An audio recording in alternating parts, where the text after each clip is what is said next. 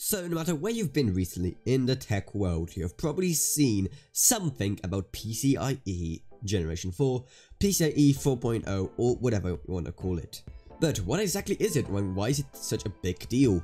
And why should you care? Well, you should because if you're planning upgrades anytime soon, it's going to increase your performance. So let's get into it. Let's start with what exactly PCIe 4.0 is. Well, you probably already know what PCIe is. It's a protocol and set of lanes on the motherboard that are used to communicate between the CPU and special expansion cards such as graphics cards, sound cards, and additional PCIe powered storage such as NVMe drives. Right now the most powerful one in use in public is PCIe 3.0, however now with AMD Ryzen that is changing. Thanks to a new X570 chipset being introduced by AMD, you too can enjoy the additional speed advantages that are being given thanks to PCIe 4.0. But does it even matter? Well, yes, because as shown by the Computex keynote, that PCIe 4.0 can increase performance of a graphics card. Up to 69% more performance for graphics.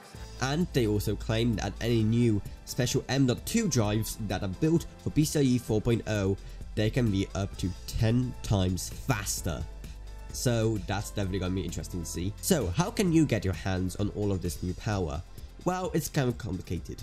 Because if you really want to have it all, then you need PCIe Gen 4 motherboard, such as an X570 chipset motherboard, a PCIe 4.0 CPU, such as a Ryzen 3000, and your expansion cards need to be specifically built to harness the power of PCIe Gen 4. However, you can always mix and match. So you can update your firmware on your older Ryzen built AMD motherboards in order to activate some limited PCIe 4.0 functionality and of course it is all backwards compatible. So if you have a X570 board or another PCIe 4.0 build board then all your PCIe 3.0 expansion cards will work absolutely fine.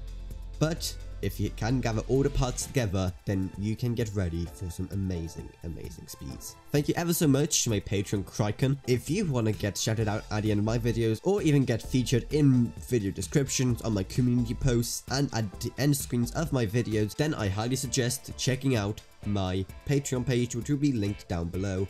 Supporting the channel monetarily helps so much more than you think and allows me to make more and better quality content. And thank you in advance for your generosity. But anyway, I hope you enjoyed this video. If you did, remember to subscribe, like, whatever, and I'll see you all in whatever I make next. Goodbye everyone. Goodbye.